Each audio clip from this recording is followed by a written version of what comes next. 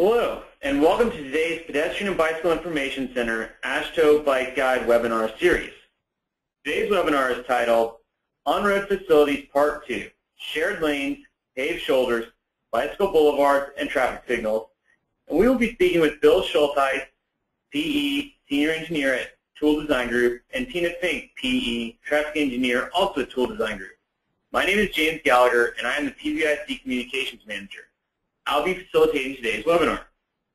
I'd first like to say hello to today's speakers, make sure they are ready and that everyone can hear them. Bill, are you there? And Tina, do we have on the line as well? This is Bill Schultheis. I'm on the line. Hi, this is Tina Fink.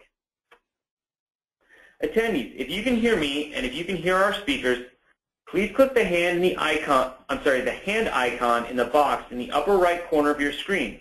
This lets us know that you can hear us.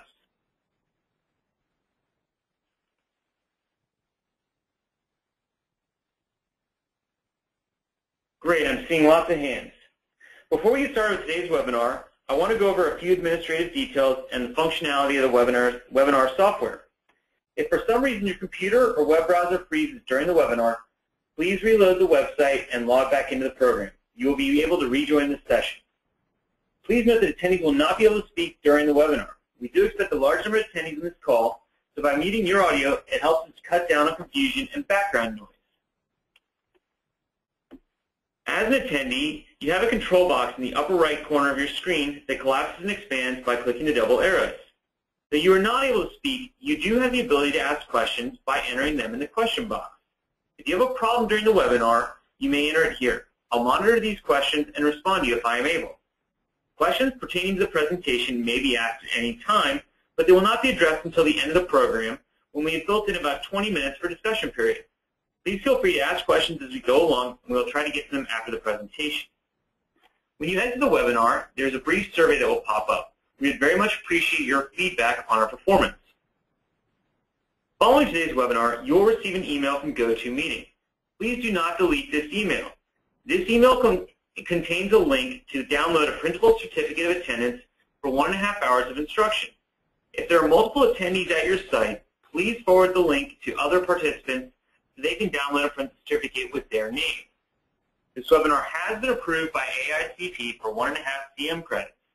The Road Safety Academy, the training and education arm of the UNC Highway Safety Research Center, is a registered provider of CM credits. For more information on the Road Safety Academy, please visit www.rsa.unc.edu. Also, AASHTO has agreed to provide a 20% discount to attendees of this webinar series. Details for how to get that discount will be provided in the follow-up email. Again, please do not delete that email until you get your attendance certificate and AASHTO discount. I believe we have worked out all the kinks with downloading the discount flyer, but please let me know if you have any trouble. This is the fourth of seven webinars on the AASHTO Bike Guide. For more information on those and other future webinars, or to view the archives from this webinar series and others, please visit www.walkinginfo.org slash webinars. In addition to these webinars, PBIC offers four different in-person training courses to provide technical assistance to professionals and community members in developing pedestrian safety action plans and improving conditions for walking. These courses can be found at www.walkinginfo.org slash training. Before we start the feature presentation, I want to take two quick polls from the audience. Okay, first I just want to confirm that you can see my screen. Yes, I can see it. All right, well, it's good to be back. Uh, welcome back, those of you that have been on previous webinars, and for those of you that are new, uh, excited to have you join us. This is, as James mentioned, uh, the fourth of a series of webinars. I'm going to talk today's um, webinar is about non-bike lane on-road bikeway design, which is distinct from our last webinar, which focused strictly on bicycle lanes on the road. We are going to be having a conversation, live tweeting this on the, on the webinar on Twitter. So if you want to participate in that discussion online, you're welcome to join us at Toole Design. And if you want to keep it the topic focused to group the discussion together, you can use the hashtag AASHTO or hashtag bike guide. It's a fun way uh, to participate in a discussion with colleagues around the United States and uh, our Toole staff will be um, tweeting some of the main points of the webinar as we go along.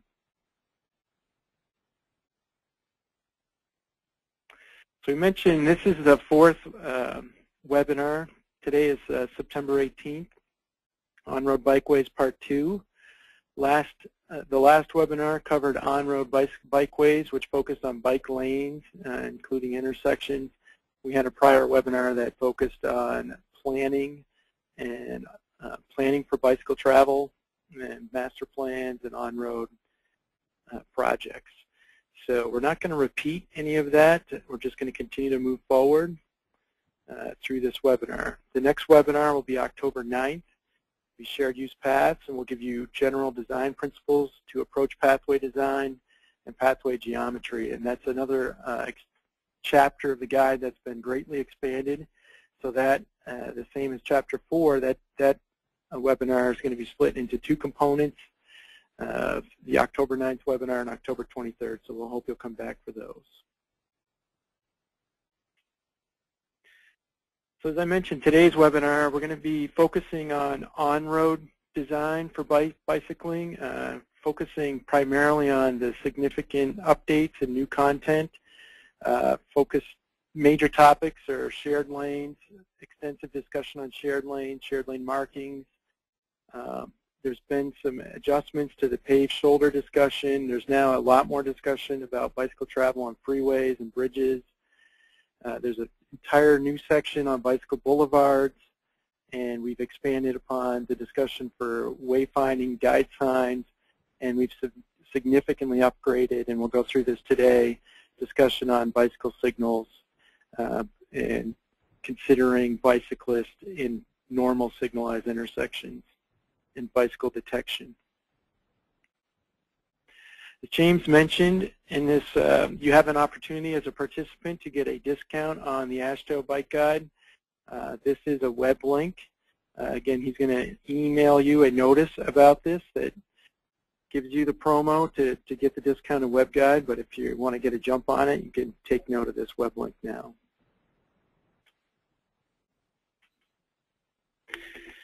Uh, for those of you that were here the last time, a little bit um, repeat at the beginning, but it's important to set the context uh, for design and understanding the relationship between the AASHTO Bike Guide and other design guidelines. So first, um, AASHTO is a nonprofit organization whose mission is to provide technical supports to each state to efficiently move people and goods and more simply stated, to develop a set of uniform standards that apply to roadway design throughout the United States from state to state. Those guides are often transferred to individual states and localities where they take the, the AASHTO guidance and develop more detailed guidance that fits their particular local needs. The last AASHTO bicycle guide was written in 1990, was published in 1999, largely written from 96 to 98. So obviously there's been quite a lag in time since that period and a lot of things have changed. This new guide is about twice the content of the 1999 guide and reflects a lot of research and innovations that were tested and, and in place throughout the United States over the last 15 years. Um, it's important to recognize that there's a really critical difference in the engineering profession between standards and guidance. Um, standards are things that are required. You see standards in the MUTCD, uh, you know, traffic uh, traffic stop signs are, are red. They have to be red. We don't have green stop signs. So those are referred to as shall conditions. You know, stop signs shall be red colored. Uh, and that's important distinction between guidelines, which is what the AASHTO Bicycle Guide is, is a guideline, where the language in the guide is should or may. Uh, and those are recommendations that you may deviate from with, with engineering judgment and site-specific criteria. Um, again, I mentioned the MUTCD's relationship to this. The MUTCD is adopted through federal law uh, as a national standard that uh, agencies are required to follow. Um, AASHTO by itself, it's not a standard unless it's made a standard through adoption in uh, local law or ordinance through a state DOT or local DOT. Um, there's a big difference between an innovation and accepted practice. Um, you're allowed to innovate through the MUTCD, through AASHTO, uh, but the innovating by itself is not enough to get them into AASHTO or the MUTCD. Uh, accepted practice is, is an experimentation and evaluation is really the standard before things are put into these guides, that there needs to be a period of time that they've been tested, used in, in widespread use, relatively widespread use, and shown to be effective and, and safe uh, for the intended purpose before they're put into a, a national guideline such as AASHTO. Other guidance that is important to consider is PROWAG. Um, it comes more into play in shared use path situations, uh, but it could have implications for situations that I'll talk about today accommodating bicyclists on bridges or roundabouts. Uh, it's important to understand the, that uh, accessibility guidelines are also written in the federal law and that they must be complied with on different design projects. Other guides that we look to are obviously the Highway Capacity Manual influences bicycle design on roads, uh, where local agencies or state governments look to highway capacity criteria to make decisions about things such as road diets or uh, provisions for bicyclists.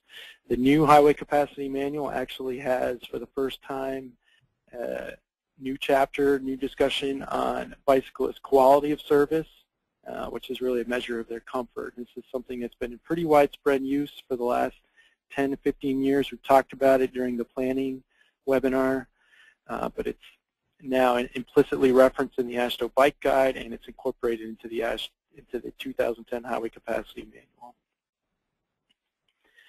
The NACTO guide is a new um, design guideline developed primarily by large urban cities through a collaboration of large urban cities throughout the United States.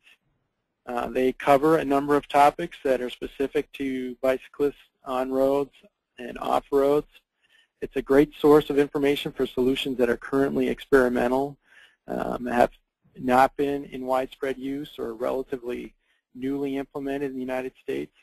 Um, they provide guidance for how to, considerations for how to consider these newer treatments. And NACTO sets a, a great place to look to for, for treatments that are evolving in the field. Um, and then again, as I mentioned before, once things evolve to the point where it's clear what the safety benefits are and the criteria, what the design parameters should be, the next step is to incorporate into a, a national standard such as AASHTO. Um, AASHTO and NACTO are really should be seen as complementary uh, design guidelines, one supporting the other. There are many, many items in NACTO uh, that are not not explained, such as bicycle stopping sight distance, that are geometric design based, that are critical for designers to understand, to be able to apply the, the principles and to do innovative treat some of the innovative treatments described in NACTO. So it's not an either or, it's really a both uh, type of need to understand these two important design guidelines. Same applies for the AASHTO Green Book for streets and highways. Um, generally, you know, a lot of bicycling happens on our public roadway system without special accommodation.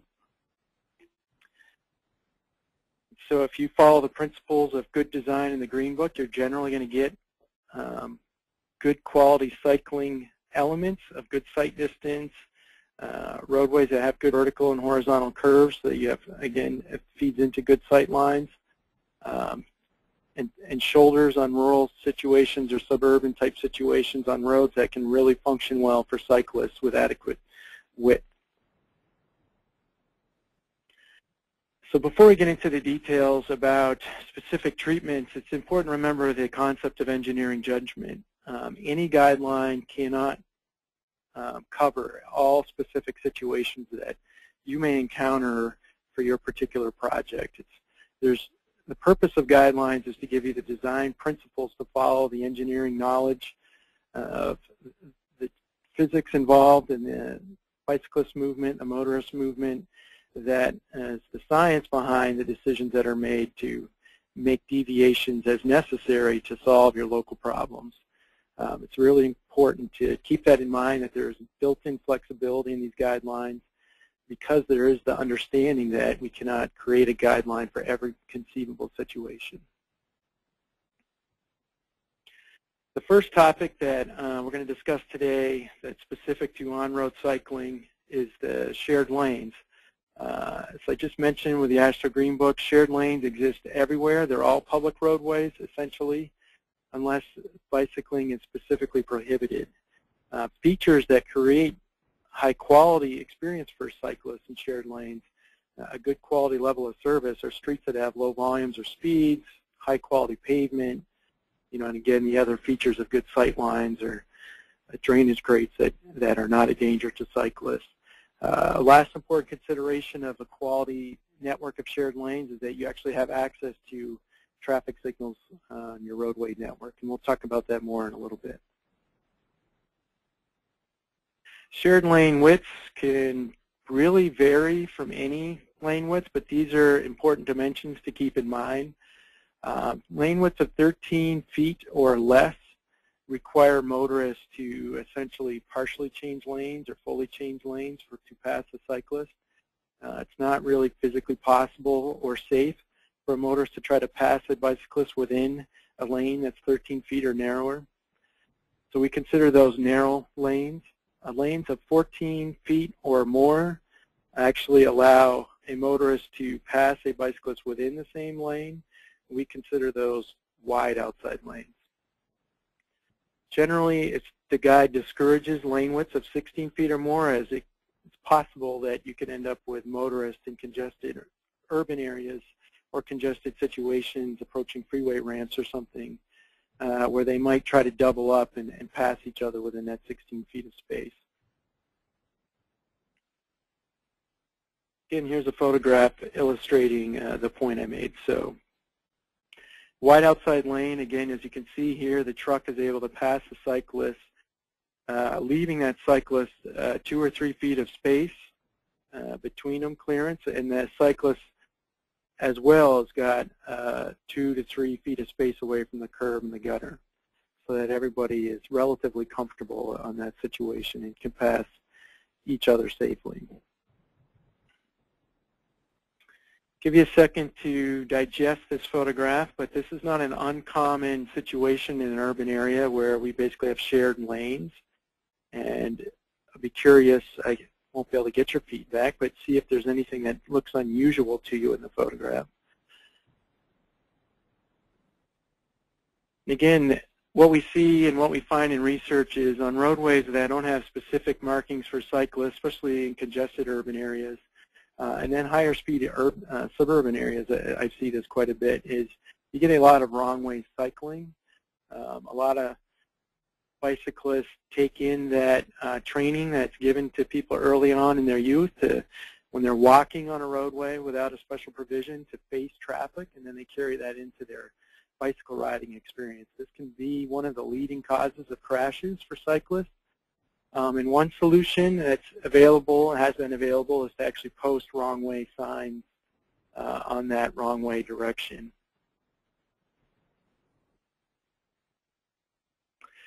Another aspect of that is trying to encourage the cyclist to feel more comfortable in the lane. Uh, a couple signs that are, uh, one sign that's been available a long time is the share of the road. It's been used quite a bit. Uh, a new sign that's new to the manual that was uh, also now in the MUTCD is the bicycles may use full lane sign. And the guide talks about the application of these signs relative to thinking about the lane width of that space. So thinking back to the, the lane width discussion we just had, the guide is suggesting that it may be more appropriate to use the full lane, bikes may use full lane sign on narrow lane situations, and the share the road sign on situations where the um, travel lanes are greater than 13 feet. Here's just a photographic example of the application in these two situations.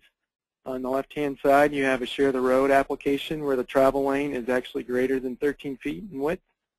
um, and the share the road sign, and, this locality was considered to be the appropriate treatment. As you see, there's no special uh, marking on the roadway. The photograph on the right has a narrower lane. Um, in this case, the, bicycles may use full lane sign is posted along with a shared lane marking. And you'll notice that the shared lane marking is actually placed approximately, because the lane is narrow, approximately in the middle of the lane.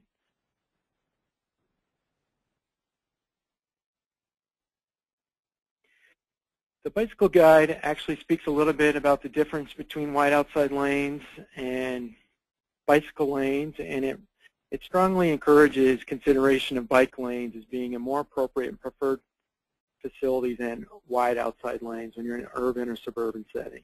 Uh, it's largely because of some of the reasons we've talked about, but discouraging wrong-way riding, but creating an increased comfort level, referring back to the bicycle level of service modeling that's now been developed and incorporated in the Highway Capacity Manual. When you're in a rural situation, um, shared lanes are generally fine when you have good sight lines, low traffic volumes, at speeds of 55 miles an hour or less. Uh, there's a lot of roadways in the United States that comprise that ha that have these conditions, uh, and they've been they're great bicycling routes, and many of them are designated as local, state, or even uh, national U.S. bicycle routes today. They provide a high quality service to the cyclists. The guide does speak to the fact, though, that as you get, um, there are situations where it's better to have a paved shoulder than a shared lane, and that's generally preferable to have a paved shoulder than a shared lane, if possible.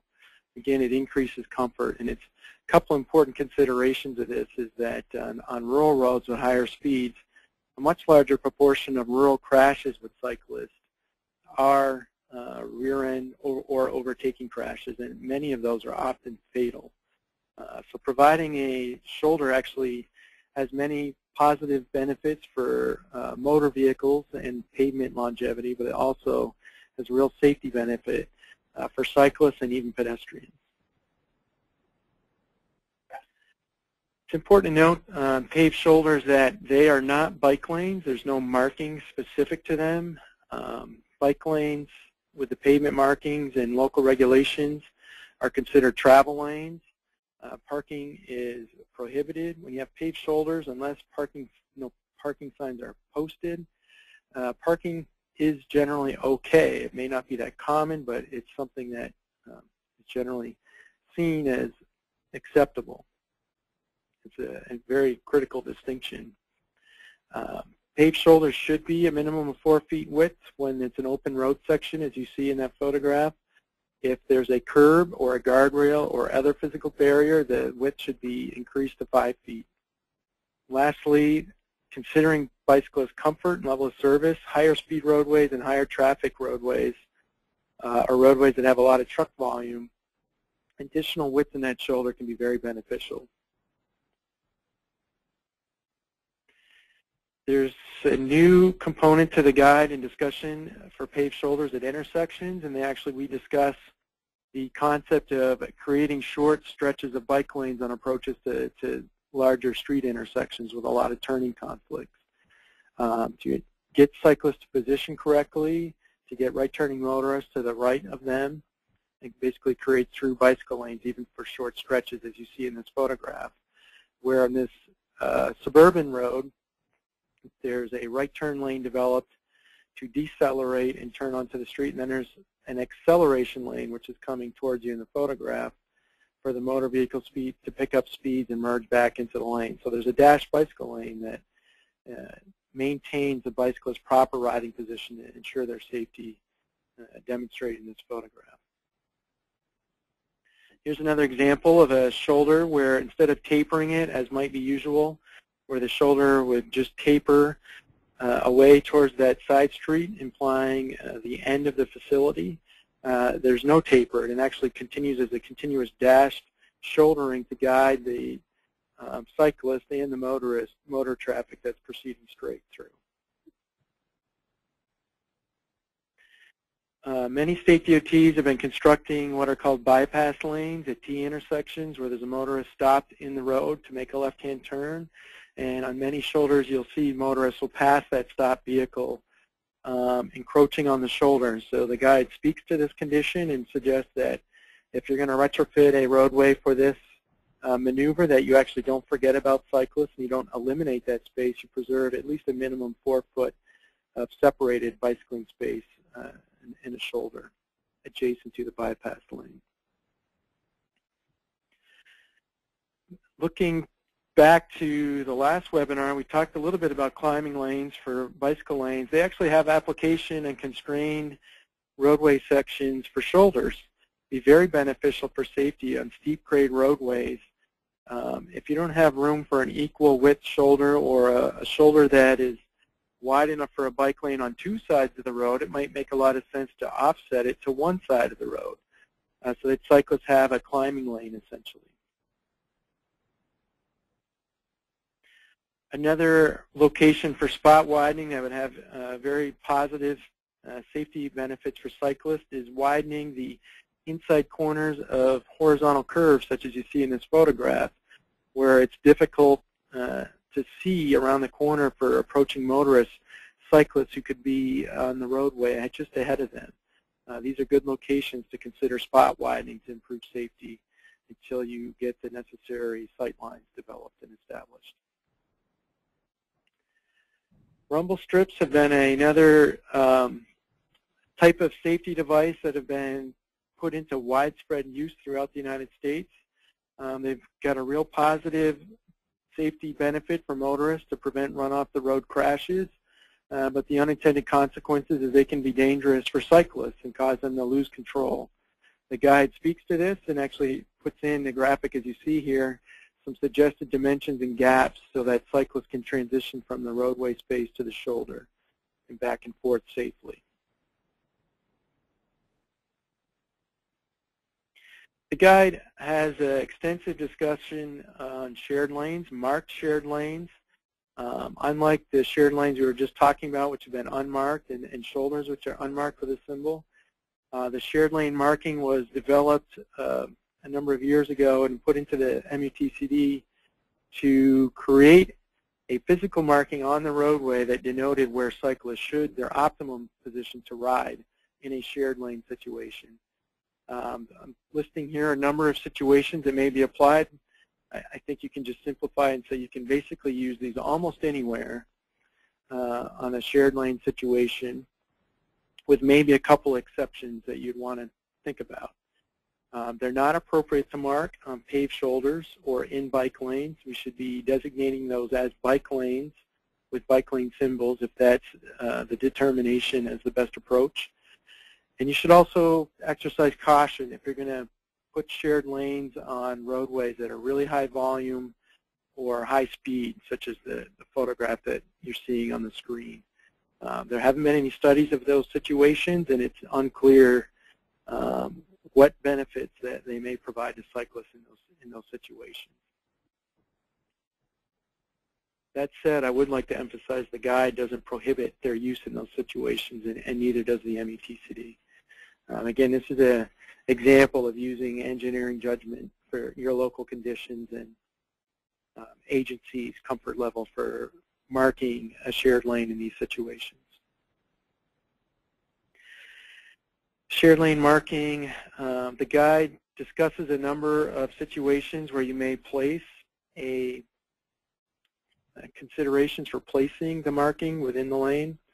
Um, and these are just the suggested minimum distances. Uh, that minimums are not intended to mean a standard that they go at that number. That's the starting point, and then you can you can shift them further from those numbers, uh, depending on your local circumstances.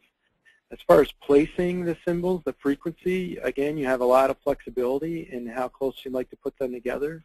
That's frequently a decision that's made partially on cost and maintenance. Uh, but as a general minimum, it's suggested in the guide that they be placed immediately after an intersection and then not more than 250 feet apart. Uh, the farther apart the sharrows are spaced, the harder it is for the cyclist to track them. Here's an example of another application. Um, we talked about this uh, during the bike lane session, but it's now been given interim approval, the use of green uh, in bicycle lanes. The green can also be used to silhouette a bike symbol, as you can see in this photograph, the shared lane marking. And this is an example as well of an application of the markings at a much closer spacing of 30 to 50 feet apart to really emphasize that travel path.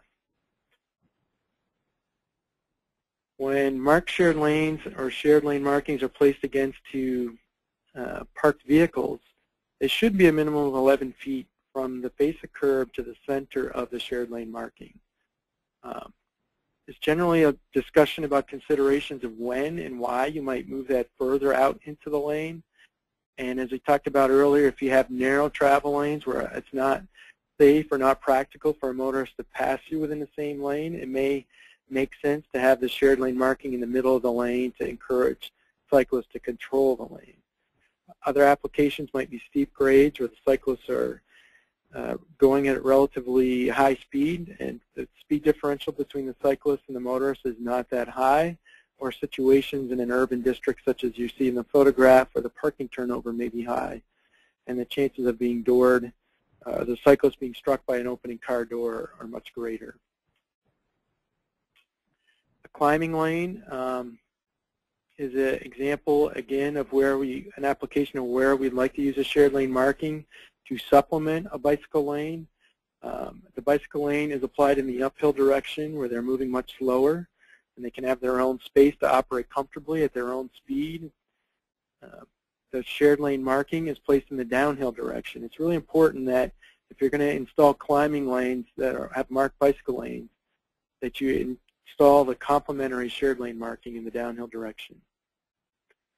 And even on some roadway situations, you may decide uh, the cross section is so tight that you could possibly do bike lanes in both directions, but given the speeds and parking turnover that it may be more advisable to have a wider bicycle lane in the uphill direction um, and have the shared lane marking positioned further away from the parked vehicles in the downhill direction. Uh, climbing lanes don't necessarily have to stay on the same side of the road if your terrain is shifting, such as in this photograph. Um, they can flip directions. Uh, the next step for this picture is obviously to add some markings, but uh, the, the point of this slide is to actually show you the idea, the concept of flipping the climbing lane from one side of the road to the other to work with your existing terrain. You also have applications on flat terrain where it may be desirable to have a bike lane in one direction uh, where the roadway is too narrow, and then in these situations, it makes uh, it's a really good idea and strongly encouraged to have a shared lane marking in the opposite direction to reduce wrong way riding. And lastly, shared lane markings are also a useful tool to guide around hazardous, to position cyclists to, to maximize their visibility in situations that could be potentially hazardous, such as this location where the sight lines are restricted by a tight curve and vegetation, um, and some parking that may or may not be present on the far side uh, because there's intermittent parking. So this encourages cyclists to come out, take the lane, take control of the lane through this curve so that they don't suddenly swerve out in front of a motorist where the, the sight lines aren't so, so good, creating a situation for potential crash. And shared lane markings shouldn't be forgot about for construction projects. Uh, they have a lot of application and potential in construction projects as a a mitigation strategy during lane closures. Uh, this is an example of a bridge project in Boston where uh, a, a, bridge was narrowed uh, to recon reconstruct each of the lanes, resulting in bicyclists having to share a narrow travel lane. So during that construction project, shared lane markings were placed uh, on within the travel lane in conjunction with bikes may use full lane signs during the construction period. Shared lane markings may also have usefulness in right turn lanes if it's a situation where you have a short development of a right turn lane. So for example, you have shoulders, paved shoulders, or bicycle lanes that are terminated to develop a right turn lane for a short stretch. And the cyclists aren't going to typically change lanes to the through lane to pass it. It's a low volume right turn lane. Um, it may be desirable to actually just mark shared lane markings where the cyclists will most typically ride uh, which would be within the center of that turn lane. There's a lot of expanded discussion on bridges, viaducts, and tunnels. Uh, a main theme of this discussion is that bicyclists should be accommodated on the majority of these situations unless the roadway uh, unless the roadway prohibits cycling. And even then, you should look at it from a network perspective where it may be desirable, even on a limited access bridge, to provide bicycle accommodation across uh, whatever uh, the feature is that they're crossing, be it a river, lake, or a railroad. This is a good example of a situation where the, the cyclist is uh, pinched considerably as they approach the bridge, and it can create a very uncomfortable uh, and even dangerous situation for them where they have space and suddenly the space is narrowed or eliminated completely uh, across a stretch of roadway and especially across longer stretches of bridges. Generally, when bridges get to be a half mile or more in length, it's desirable to have a shared use path on one or both sides of the bridges. Um, if you're in an urbanized area, it'd be preferable to have it on both sides of the bridges unless you really strongly design uh, safe and efficient street crossings on both sides of the bridges to uh, create safe travel across the bridge for, for those users. You may create separate uh, bicycle-only trails or spaces or shared use paths such as shown on these bridges. Uh, there's a couple great examples. Actually, these are two of the best probably in the United States. Uh, the one on the left is the Cooper River Bridge in Charleston, South Carolina, a signature landmark bridge. Uh, and the bridge on the right is the Interstate 90 bridge in Seattle, uh, where again, those are two examples where the, the road itself is limited access. Bicyclists and pedestrians are prohibited. Uh, but there were efforts and recognitions that these were important connections in a larger network and that it made sense to add these high quality connections for both cyclists and pedestrians to complete the uh, cycling and walking networks in these communities. It may be necessary in those situations to consider limited access uh, for cyclists uh, on the approaches to these uh, bridge, bridges or tunnels where the limited access is provided. Here's an example where uh, in the state of Maryland has actually signed some bicyclists operating on the shoulder on what is normally a limited access freeway where they're prohibited. Uh, so they've signed it to make it legal and they've designated the locations on those approaches where it is legal, provided adequate signage so that people can find those important connections. Lastly, it may be desirable to provide both a, a side shared use path and a shoulder on the bridge. So there may be situations where you have strong on-road connections where you want to keep that continuous across the bridge and not sever that and divert everyone to a shared use path. A couple retrofit examples are one, you can widen sidewalks on bridges to create a shared use path or a wider sidewalk. Ideally, you would still remain uh, some space for a shoulder as is shown in the picture on the left. Other examples are retrofits to some of our uh, graded bridges where you can get a lightweight concrete fill so that it's a smooth surface for bicycle travel across the grades. A couple other innovative treatments are to sign um, with markings, uh, places to separate pedestrians and cyclists so they are not uh, conflicting with each other, especially in denser urban areas such as the bridge on the left in Portland or in situations where you have long tunnels where the roadway pinches, it's a, it's a historically narrow road and a, a tunnel that can't be widened, to create activated warning devices so that when a bicyclist is traveling through the bridge that the motorist approaching them is aware of that. There's a number of principles that are explained for bicyclists traveling on freeways, uh, freeway design considerations, and interacting with freeways is thinking about bicycle level of service to determine appropriate width of the shoulder bike lane and to really focus on making sure that the conflict areas are very clear to the cyclist and to the motorist uh, before they approach it and at the approach. It's also critical that a continuous facility is provided on both sides of these types of roadways. On approaches to ramps and interchanges, often uh, separate turn lanes are developed it's important that the cycle lane or shoulder is not striped to the right of these turn lanes and that they be designed like bicycle lanes.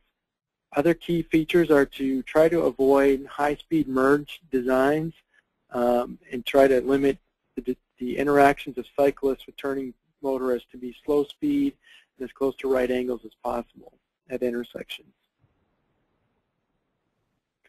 Here's two examples the guide uh, goes into detail on for the uh, merging ramps onto roadways. Is, is the top one is allowing cyclists to choose their space to merge within that ramp area. And the second option at the lower picture is to channelize them to a, a confined location to cross, which may be parallel to a pedestrian crossing. There's discussion on uh, single point diamond interchanges. A couple key features of these. Um, they're, they're, being installed with more regularity around the United States. But the guide highlights uh, a couple key points. And one, probably the most critical, is the length of these and size of these. It's really essential to check the signal timing for cyclists. They don't get trapped in the middle of these uh, interchanges, putting themselves at risk of being hit uh, by other traffic unexpectedly. The other is to create separate right turn lanes for entrances to the limited access highway part of this, and to tighten the turn geometry for exits and merges. Another bit of new discussion is talking about bicyclist treatments at roundabouts. There's been shown to be a crash reduction for cyclists in roundabouts if they are designed for low-speed traffic, with single-lane roundabouts being preferred. Uh, the guide speaks to a concept of not designing the roundabout and, and operating it for the traffic projected 20 years from now, but to operate it for the traffic as it exists today. So an example would be if it, traffic volume projects you need a two-lane roundabout in the future, that you install it as a one-lane roundabout so that it's safe for the users and cyclists in the, in the, near term, and that you have the option to add that second lane uh, once that traffic materializes. Bicyclists also have the option to exit and to the sidewalk and, and take it as pedestrians. So the first is treatment, which the guy goes into detail on, is cyclists taking the lane and staying within the roundabout.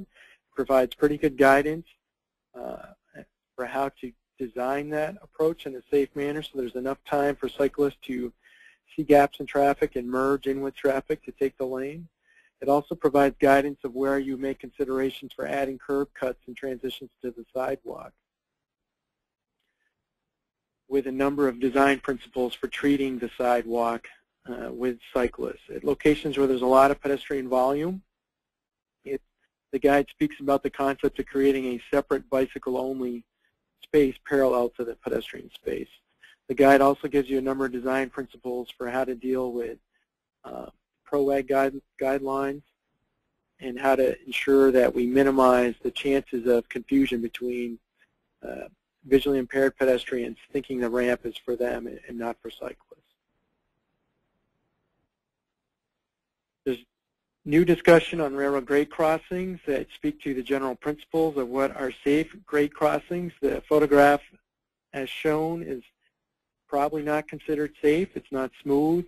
Uh, it's got the flangeway is kind of rough and torn up, and it's no not clearly marked how a cyclist would transition through here. The guide talks about the principles that would result in these types of designs where you can actually widen the roadway and create a place to cross the tracks at closer to 60 to 60 to 90 degree angle through uh, spot widening as shown on the left. Another option is to actually use pavement markings such as the bike lane on the right and using that green to emphasize the correct alignments across the tracks without um, risking yourself of the cyclist risking a chance of a fall by hitting the track at the wrong angle. There's uh, expanded discussion about treatments for drainage grates and utility covers and some examples of how to retrofit them photograph actually shows a retrofit with some welded crossbars um, so that the wheel doesn't fall into the grate. Uh, the guide suggests a number of grate styles that are more likely to uh, be safe for a cyclist to traverse across. The guide speaks to a number of considerations for the drainage grate placement, uh, with the goal being to maintain at least a minimum four feet of operating width uh, regardless of whether it's a shoulder or a bicycle lane, uh, between the, the lane line and the edge of the gutter or the uh, edge of the drain is shown here, the drainage grate. With that, I'm going to turn it over to Tina, and she's going to walk you through the uh, expanded discussion on traffic signals in the guide.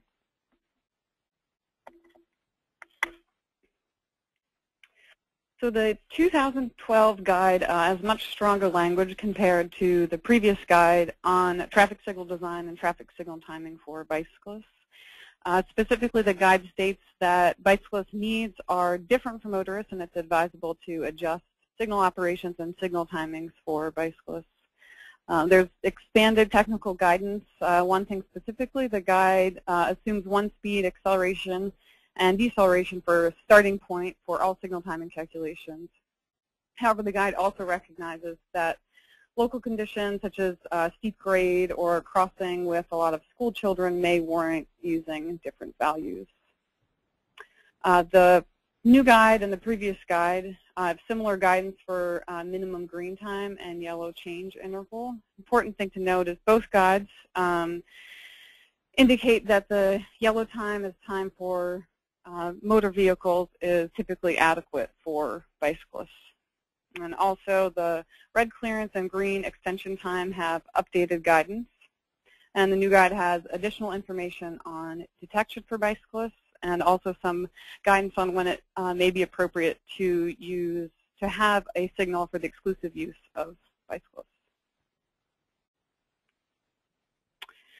Most traffic signals are timed using the operating characteristics of a motor vehicle, which are significantly different uh, than that of bicyclists. Cars can travel at much faster speeds and slow down uh, much more quickly than a bicyclist. And this is important. Uh, the slower acceleration is important for determining uh, minimum green. Cyclists typically need a longer minimum green time than motor vehicles. And the slower speeds of bicyclists mean that bicyclists need uh, longer clearance times.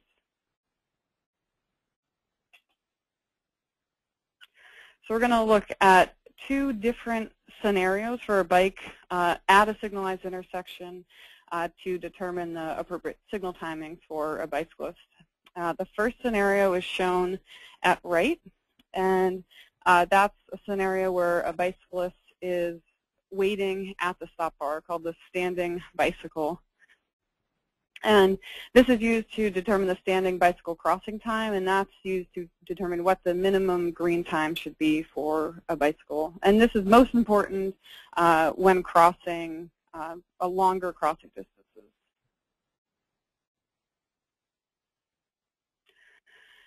So the uh, standing bicycle crossing time is enough time for a cyclist at the stop bar to react, accelerate, and clear the intersection.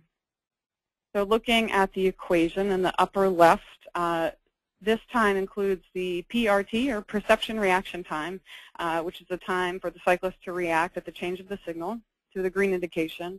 And the remainder of the equation is the time for them to accelerate and clear the intersection. And once we've calculated this standing bicycle crossing time, uh, the minimum green time has to be adjusted uh, such that the, as shown on the right, that the standing bicycle crossing time is equal to the minimum green time plus the yellow change interval plus the red clearance interval.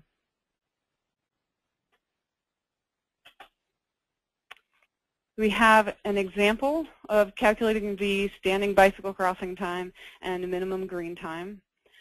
In this example, our crossing distance is 52 feet. And with that crossing distance, we get a standing bicycle crossing time of 9.8 seconds.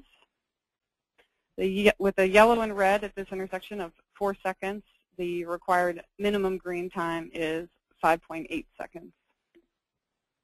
So this would probably require a slight increase to the existing minimum green time at such an intersection.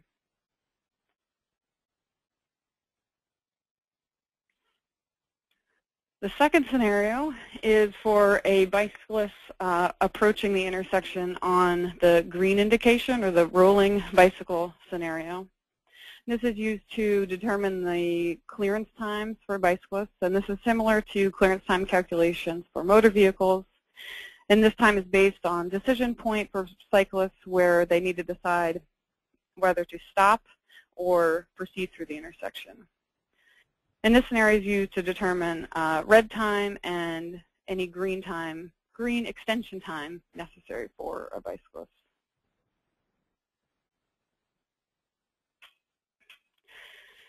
Looking at this equation on the left, uh, this is the bicycle rolling crossing time, and this is determined using the braking distance plus the crossing distance and the speed of the cyclist.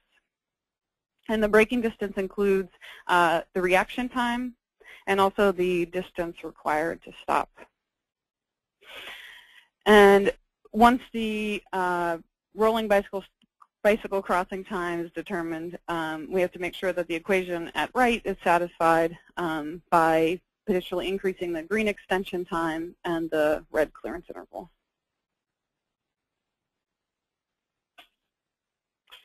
Another example, uh, again, uh, we have a crossing distance of 52 feet. And with this, we'd get a rolling crossing, bicycle crossing time of 6.4 seconds. And with a yellow and red time of 4 seconds, we need an additional uh, extension in red time of uh, 2.4 seconds. And in, if in your jurisdiction the red time can't be extended to accommodate this uh, full 2.4 seconds, um, an extension time should be provided.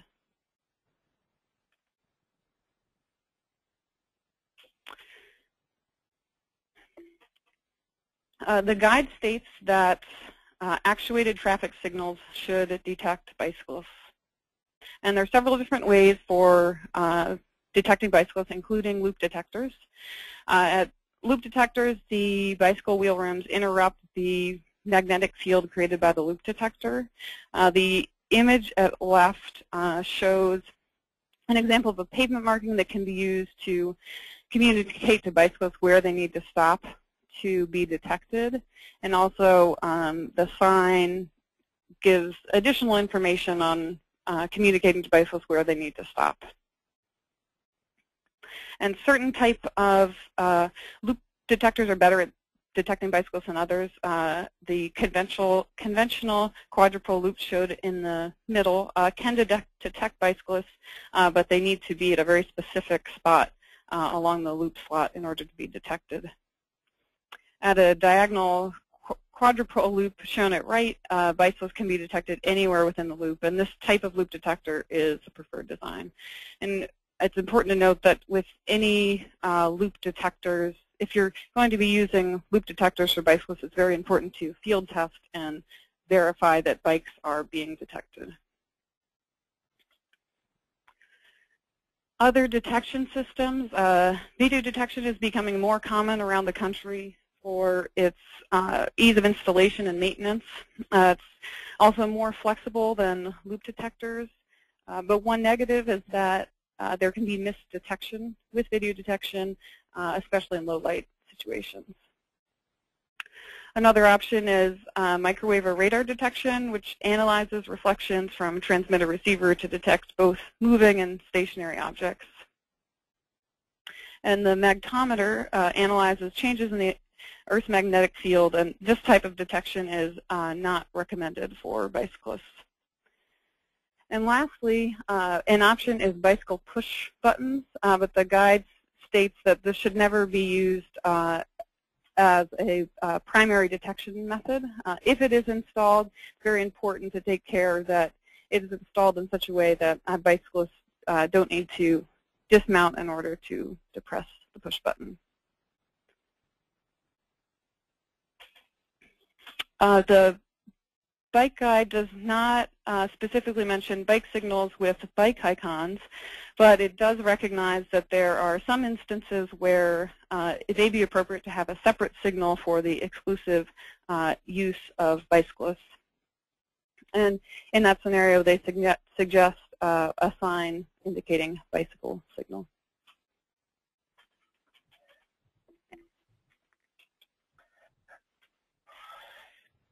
Great. Well, I'm going to wrap up today's webinar with uh, two more topics. Uh, first being the most significant uh, addition to this section of the guide is the discussion of bicycle boulevards and traffic calming.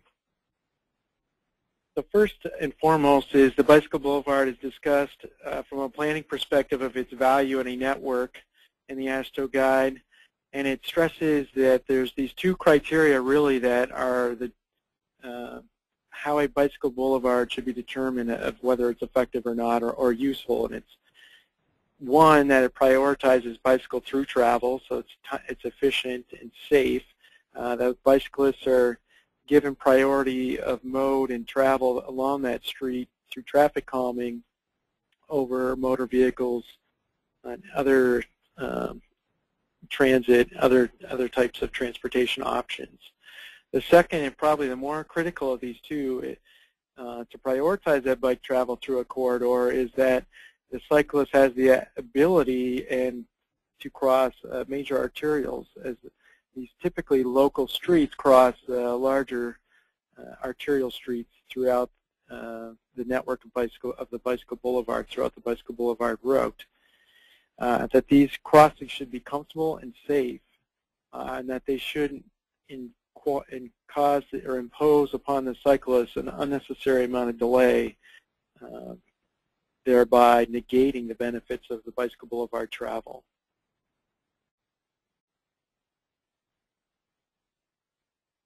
The guide speaks, uh, it doesn't speak to this specifically, but we wanted to discuss it a little bit today, and it's the idea that um, this is a relatively new um, treatment that's being used around the United States. They have been in use for quite a while, um, but there's been a lot of discussion nationally about uh, the term bicycle boulevard.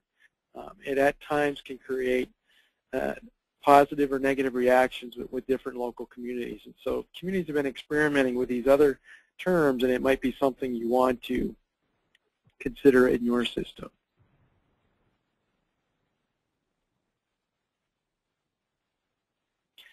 So Bicycle Boulevard, um, a lot of it is getting the travel speeds of motorists to be at or below the typical operating speeds of cyclists. So you're looking at a target um, operating speed of 15 miles an hour to 25 miles per hour. Uh, so that typically is going to mean we're going to be applying some traffic calming treatments. So when you approach a traffic calming project, um, it's natural to think of the bicycle as the design vehicle as far as their comfort, and then from the standpoint of the motor vehicle, uh, implementing a design that achieves your speed reduction goals, or in some cases, volume reduction goals. Generally, if the traffic calming feature is designed well for cyclists, it's going to achieve the traffic calming objectives uh, for the motorist. This photograph at the left is actually a raised crosswalk that was, uh, because of the design of the raised crosswalk, it's very comfortable um, for a cyclist to traverse over. It's very comfortable for the pedestrians as they've got a level surface to cross. And then even large vehicles such as that bus are able to navigate it without bottoming out uh, on the roadway and doing damage to, to their undercarriage. One type of uh, device uh, that may or may not be obvious to some folks is the idea of just a queuing street, a narrow street. Uh, these are very typical in, in older street design and are less so in newer uh, street design codes where we've been making streets wider and wider. Uh, but we've actually got a lot of body of research that shows that these narrow streets with parking allowed are some of the calmest streets and the slowest streets, and they're really natural streets to be looking at for designating as bicycle boulevards. The next step in uh, traffic calming is considering vertical deflections. Uh, these be speed humps, speed tables, cushions, raised intersections, raised crosswalks. Um, they all have uh, a similar goal of the vertical deflection slows down the motorist, requires them to, to uh, these can be designed to a target speed limit depending on the height that you develop these treatments at and the length of the ramping where the elevation change is gained. The key from a cycling standpoint is to make sure that that transition from the road surface to the elevated treatment is smooth and that there's not a real abrupt bump there which can be very jarring to a cyclist and actually have the unintended consequences of discouraging cyclist travel on a roadway system. Curb extensions are another effective treatment. Um, The key feature for these, it's discussed in the guide, is to keep in mind their effect on bicyclists, uh, whether it be a bike boulevard or a bike lane, uh, that they don't extend into the operating, the typical operating space of the cyclist, that these curb extensions should be visible and obvious, um, and not take away from their space and, and, uh, and, surpri and surprisingly pinch them, uh, where they're suddenly in, in uh, pinch with motorists coming in close proximity to them unexpectedly. Chicanes are a horizontal, another horizontal type of device.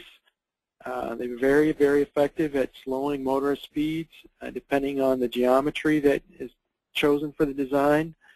Um, chicanes sometimes involve a narrowing of the roadway, creating a pinch point. Um, here's an example where they narrowed the roadway a little bit and created pinch point, but they actually had the cyclist route behind the traffic island, the chicane itself, uh, so that they weren't suddenly squeezed in, in between the island and the, the passing motorist. If they're thought, if the design's thought through carefully, there's generally uh, no a, there's no uh, harmful effects on cyclists with this type of treatment. Many traffic circles are another very common, popular treatment. Uh, they slow down through moving motorists by deflecting them, uh, but more importantly, they often create a situation where we can remove stop signs for the cyclists, um, allowing them to have a greater time efficiencies traveling along the bicycle boulevard. That's preferable, and the guide states it's preferable to install these things and, and to remove the stop signs or consider yield control uh, to, again, preserve that bicycle travel time. Multi-way stops are discouraged as a traffic calming technique from the standpoint of a bicycle boulevard implementation.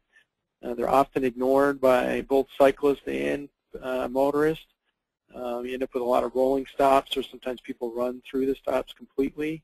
Uh, it's preferable, and the guide speaks to it being preferable to go with other treatments such as a mini circle. Uh, there's discussion in the guide about traffic diversion, the effective traffic calming projects that have traffic diversion on cyclists from the standpoint of an effective bike boulevard. Um, ideal bike boulevard traffic volumes are less than three, 4,000 vehicles a day. If you have a, a street that has traffic volumes that are in excess of that, um, your community may start to discuss uh, different traffic diversion strategies. Um, the key is that the traffic diversion strategy doesn't unduly challenge the cyclists of crossing the, the street if it's closed, or if you're developing a cul-de-sac neighborhood, such as on the left, you actually create short trail connections and pedestrian connections to maintain that street grid connectivity, and you don't sever it. Lastly, the guide has uh, some discussion incorporating the new um, MUTCD signs for wayfinding. And I think the guide has made a real critical distinction here, which is important, uh, that a bike uh, route is not a bike facility. It doesn't imply a liability. Uh, this is something that's been uh, misunderstood for since the last guide was written and, and even before then uh, and, and, created a lot of reluctance for agencies to sign bicycle routes. Um, this guide really emphasizes the purposes of bicycle guide signs are strictly for wayfinding and navigation. So uh, the guide discusses a number of particular circumstances you may want to do to, to, to apply these, whether it's a system of routes through a community or between communities, uh, it could just be a route that's a preferable route parallel to an, al an alternative roadway that's uh, maybe not desirable for certain types of bicycle traffic, uh, or it may be spot specific guidance to for transitions between trails and, and on-road connections that are not obvious. Uh, so the guide discusses a number of these examples.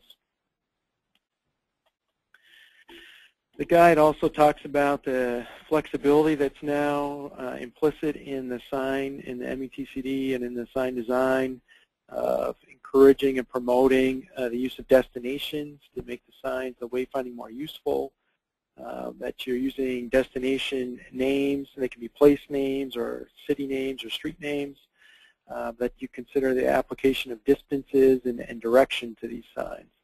Uh, there's now options to um, simplify. You don't necessarily need to have the old bike route sign on top of everything, although it's still an option. Um, you can have the standalone sign series, the D13C that you see there, uh, where the bike symbol is incorporated onto the finger plates uh, together um, for the that are destination specific.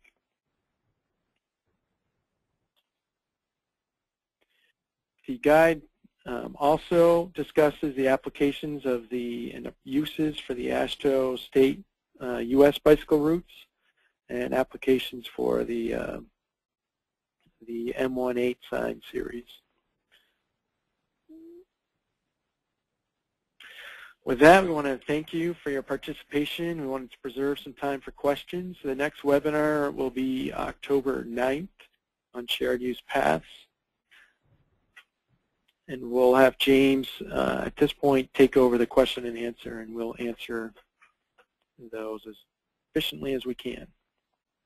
Uh, thank you, Bill and Tina. Um, if you have not already done so, please enter your questions into the question box on the screen.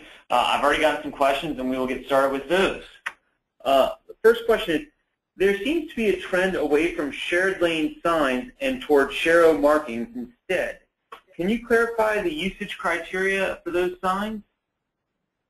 So the guide, uh, I spoke a little bit about this at last uh, webinar, and then try to emphasize it again this time because I think it's important, an important point. It's going to come down to local jurisdictions and agencies um, setting some criteria potentially for how they want to apply these signs. The guide makes some suggestions such as using the bikes may use full lane sign, uh, the bikes may use full lane sign on narrow lane situations to share the road sign on wider lane situations or rural road situations. Um, again, but we don't specify a criteria uh, because it's going to come down to being a local decision. Um, they also talk a lot about using the shared lane marking, especially in urban and suburban areas, as a further emphasis of lane positioning to complement the sign. Okay. With um, with wrong way cyclists, what factors lead to more crashes for wrong way cyclists, and how often do you recommend posting wrong way signs? Well, the, the primary factor with the wrong way cycling is they're um, going against traffic, it's unexpected, they can uh, encounter other cyclists riding the right way, which creates a situation where one of them has to choose which way to go. Um, and then just through safety studies that have been done over decades now, um, wrong way cycling on the roadway and even on the sidewalk, um, just off the roadway, but facing against the traffic has been shown to be amongst the highest contributors to cyclist crashes. So the mitigations that have been developed thus far are bicycle lanes, marking those. Uh, it's really, I think, a shared lane markings, but the common theme is the bicycle lane marking is what I'm seeing. It's probably one of the key factors of cutting down on wrong way riding in urban areas that there's a marking on the pavement. Uh, the sign uh, the wrong way riding, posting that sign, it's just a further supplement because it's unclear, honestly. There's no research that says the frequency, but I would suggest that at least probably once per block on a city block or every other block. The thing you have to remember with that sign is it's the only sign that will actually probably be visible um, to that that user. So it would be um, catch their catch their view. Okay. Uh, in some states, they require cyclists to ride as far right as possible. Uh, do do signs saying that cyclists can take the full lane or that they should take the full lane, does that cause confusion? This this is a good, great question. It's actually been discussed a lot. Um, different, a lot of different folks have been talking about this. And, it comes down to an understanding of the law. If you're in a 10-foot wide lane and you're riding on the right side of that lane, and you need to be a few feet off the edge of the road to be safe, and, and it's as far right as practicable. It doesn't say to be on the right, rightmost edge of the line no matter what. Um, effectively, you're taking the whole lane because you're going to be riding three to five feet from the left edge, which is basically the middle of a 10-foot lane. Um, the place where it starts to become, I think, gray and where people struggle is when you get to lane widths that are 12 or 13 feet, uh, where the lane looks kind of wide and it looks to motorists like they can pass you. And in fact, they sometimes can, but that's they can pass you when they're passing you too close, or if you're riding too close to the curb. And that's why we've been clarifying in the positioning and the language of the guide that you don't unintentionally create those situations and um, where um, you're putting a shared lane marking, you know, too far to the right, uh, unlike a 12-foot lane, for example, that you have the option to move it further out uh, to emphasize taking that control. And it's not in conflict with any of the, the state laws to do that. Okay. Is there any guidance for using sharrows in a parking lot, particularly one that um, might connect to a bike path or bicycle parking? The guide does not speak to using shared lane markings in parking lots. So I would, it's kind of a unique application of it. So I would, I would think through your general engineering principles and good sight lines to, to think about how to approach that situation. It doesn't prohibit their use there, but I think it's probably worth a discussion with your local agency on that. Okay, with, with bike lanes directed to the sidewalk on roundabouts, uh, do bicycles, bicyclists cross the crosswalk if they're traveling straight, um, or how, how should they traverse such an intersection? Uh, you'll have a couple options, and it'll come down to your design approach to that roundabout. So one option I talked about, uh, say you're in an urban area or you're in an area with a lot of pedestrians, the guide speaks to creating a separate uh, bikeway, essentially, bike-only path parallel to the sidewalk. In that case, um, it's easy to envision a separate crossing. Um, other scenarios are the bicyclist is just merging onto the sidewalk. At that point, they become a pedestrian, in fact, and then they have to follow the, the, rules of, of a pedestrian and uh, depending on what state you're in, either dismount and walk their bike through the crosswalk or they're able to ride through at a slow pedestrian speed. Okay, I, I know the guy talked about green light times uh, for coming in cyclists. Does it include any factor for if it's an uphill location that might take a cyclist longer to get going?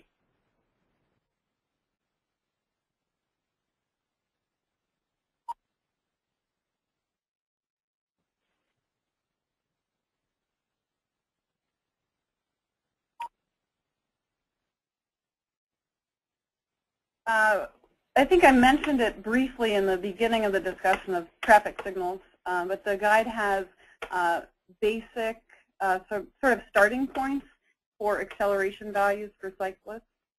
Um, but there are certainly different ranges and different different situations, and if you're at a uh, uphill location, that you could consider using a different acceleration value. Okay. There was one slide that showed a sharrow through a right turn lane. Can cyclists go straight in, in such a case? I mean, uh, a lot of people are commenting that they're understanding is right turn lanes are right turn only, and you're not supposed to go straight. Right, that's a great question. And again, it comes back to local laws and context, and it may be a situation where you do, in that your particular location, you would need to add an exception, uh, which is allowed in the MUTCD to just put in an accept bicycles. It's the same as a situation where you have a bus stop in a right turn lane, and you'll see a right turn only accept buses. Um, so that would be something to consider in that scenario. But again, check with your local local laws for wherever that question is coming from. And at the national committee level on the MUTCD, we've been talking about uh, creating more sign examples for these different exception situations such as that.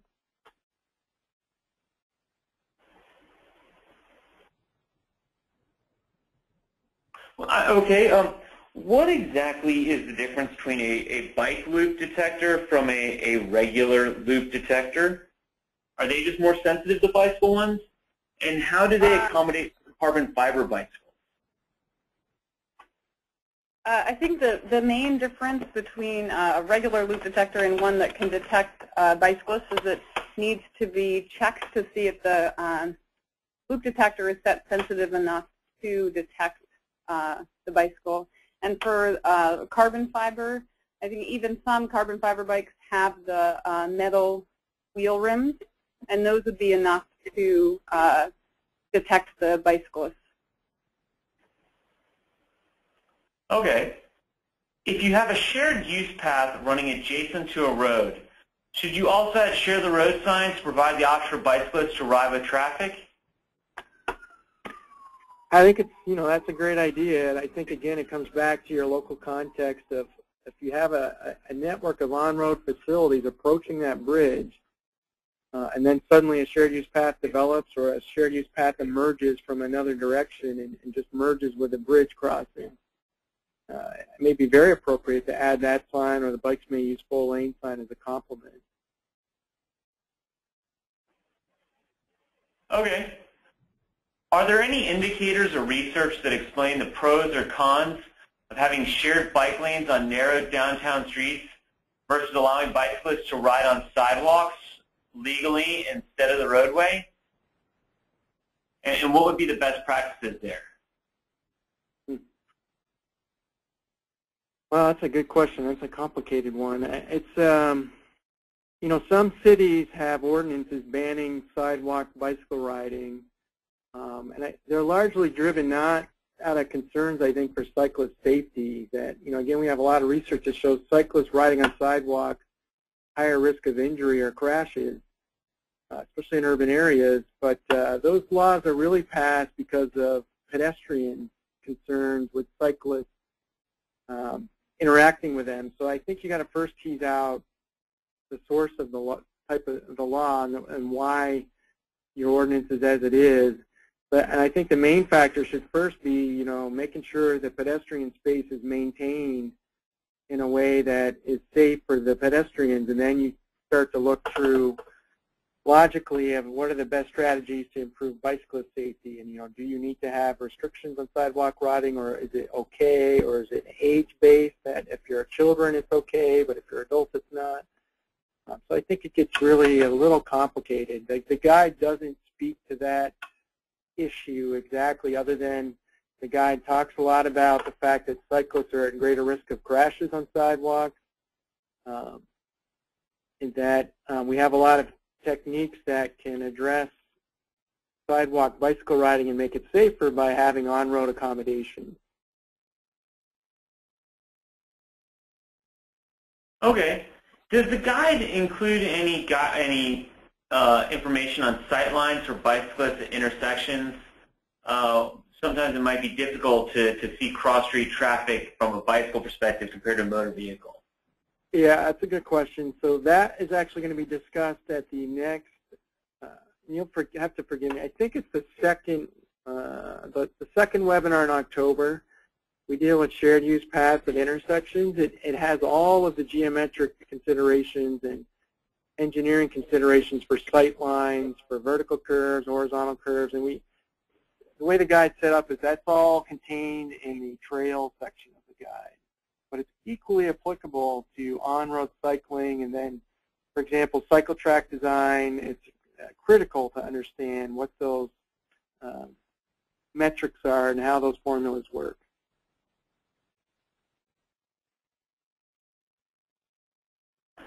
Some states have laws allowing two cyclists to ride side by side. Are there accommodations with shared road designs or signage to encourage or allow for this? The shared lane marking is not intended to imply it's single file. Um, I think it's going to come down to some interpretations of the users as we continue to deploy these markings around the United States. And then um, presently there are no signs that, a, that are official signs um, that are in the AASHTO Guide or MUTCD that um, speak to cyclists riding side by side. Um, that said, people can create those signs um, and, and, the key thing is figuring out, you know, does, does the, the motorists and cyclists understand the message that's being conveyed? Okay, I think we have time for about one more question. Um, where is the best place to move a bicyclist from a shoulder to a through bike lane on a high-speed facility with a very long right turn lane? Yeah, that is a great question too. That's really context-based, and it, it's going to hinge predominantly on the geometry design of the speeds of that traffic in that right turn lane. Um, are they merging onto the, the highway they're turning right onto at high speed, or do they have to slow down at the, the end of their ramp and make a, a slower, you know, 15 or 20 mile an hour speed versus 60 mile an hour speed? So I think that's a big factor in making that decision.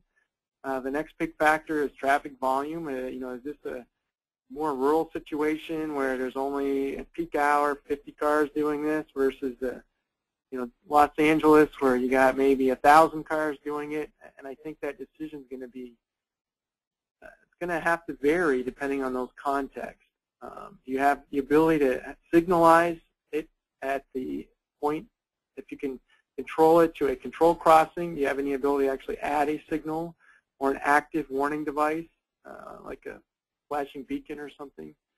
Um, so the guide gives you a lot of the principles and things to think about, but it's this is a good example of how we can't, we don't have enough information nationally of, of to really add a lot more specific criteria telling the designer when the cutoff is uh, to make that decision and, and how long these merge areas should be.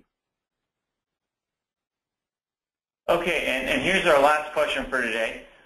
For directional signs, does the new manual contain verbiage that would eliminate concerns from jurisdictions that have expressed concern that installing some installing these signs constitutes a bike route that somehow could be legally construed as increasing their liability? And the guide speaks to the fact it's not a bicycle facility. It's not the same as installing a bicycle lane or a trail uh, are doing a roadway improvement. Uh, it's providing information of where to go somewhere. Um, you know, that said, I, it's it's conceivable that there could be lawsuits and some lawyers that would continue to try to push forward and say, look, no matter what, uh, we're going to challenge you. But um, the way it's set up is uh, to try to minimize that concern and, and just it's, it's and focus on the fact we're providing information and then it's up to the user how they want to use that information and that they'll make their own decisions of, of what the uh, how they want to travel and, and what direction they want to travel. Um, so we we want to emphasize it's not try to get away from this sort of paralysis situation where unless we fix everything we can't do anything. Um, that's not what engineering is about. It's not what our transportation system is about. Uh, we, we, need to be able to do improvements and, and give people information to, to make choices. Um, and it, it, doesn't imply that there's a liability added in doing that type of decision making. Uh, at the end of the day, uh, a lot of liability it can be addressed uh, no matter what you're doing through a strong process of document documentation of your decision making process. Um, and that's probably the most important thing that an agency can do or you can do as an individual if you have concerns, even after what we've talked about, that uh, you're in a situation that could induce a liability or concern about liability. Okay, thank you very much. Uh, unfortunately, that's all the time we have for discussion. I'm sorry if we did not get to your question today. Once again, a PDF copy of the slide presentation will be available at www.bicyclinginfo.org slash AASHTO later today and a recording of today's program will be posted within a, a couple weeks. Also, we will be conducting three more webinars on the Bike Guide over the, the next two months. Finally, I want to remind you that a brief survey will appear once the webinar is ended. Again, we very much appreciate you taking a, a moment to complete it. Thank you again to our speakers, Bill Schultheis and uh, Tina Fink, and thank you to all of you for attending today's webinar.